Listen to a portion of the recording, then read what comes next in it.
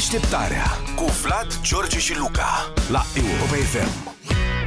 L-am auzit, de fapt, pe domnul președinte vorbim foarte repede uh, într-o intervenție mai devreme în jurnalul de dimineață.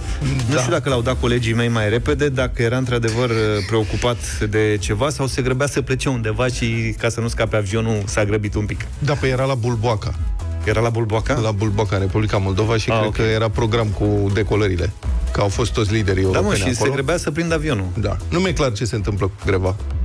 Adică Cea din educație. bă. greva din educație, da. da. Nu, nu mi-e clar dacă se întorc copiii la școală marți. De Sindicaliștii au deocamdată zis, știm că nu. da, deocamdată nu. Ministerul a spus că ziua de 2 iunie trebuie recuperată până în 30 iunie la școli, la elevi. Elevii trebuie să recupereze ziua de 2 iunie până în 30 iunie, deși vacanța de vară începe pe 17 iunie. Deci este un haos total pe cuvântul meu. Nu mai înțeleg absolut nimic din ce se întâmplă. Claus Iohannis, domnul președinte Claus Iohannis, are însă păreri foarte ferme.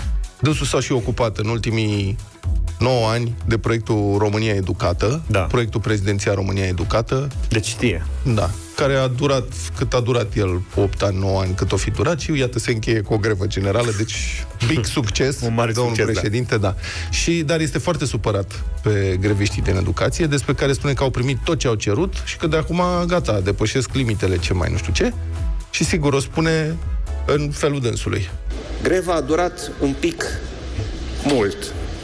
Dacă înțelegeți ce vreți să spun, adică Pic mult. era bine să durezi un pic puțin.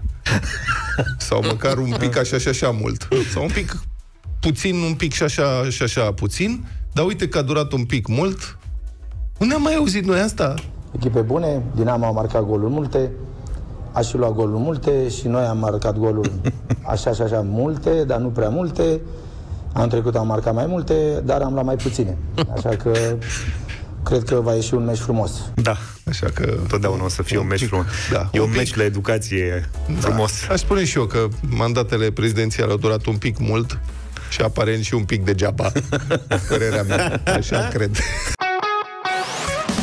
Deșteptarea cu Vlad, George și Luca la Europa FM.